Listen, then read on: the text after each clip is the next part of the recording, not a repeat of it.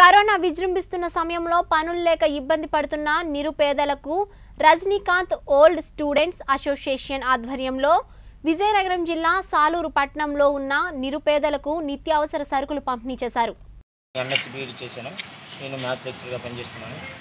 నేను Rajinikanth sir old స్టూడెంట్ని. ఆయన చేస్తున్న సేవ సేవా కార్యక్రమాన్ని ఆదర్శంగా తీసుకొని స్ఫూర్తిగా తీసుకొని రోసా అనగా Rajinikanth sir old students association ఏర్పాటు చేసుకొని ఆ సంస్థ ద్వారా ఎంతోమంది పేదవారికి పంపిణీ చేయడం జరిగింది.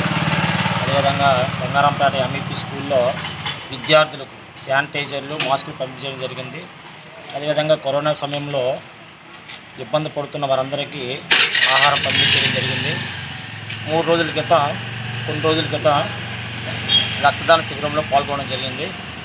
ఈరోజు సాలూరు చిన్న వీధిలో వంద కుటుంబాలకు నిత్యావసర సరుకులు పంపించడం జరిగింది.